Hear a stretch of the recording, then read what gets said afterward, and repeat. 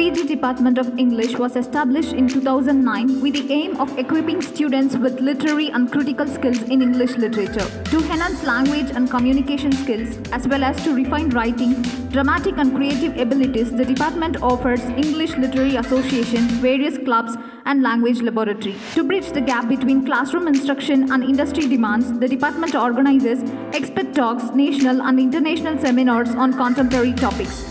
Students secured university ranks in the department. Upon completing BA in English, career paths include teacher, linguist, and freelance. Government jobs include the civil services, banking, administered by the SSC and State Public Service Commission, teaching, and the foreign service examinations. Higher education opportunities after BA in English include postgraduate study such as B.Ed, MA in English, MBA, and LLB. To make a positive impact in this field, consider joining English in Gonzaga at Katnapalam, Krishnagiri.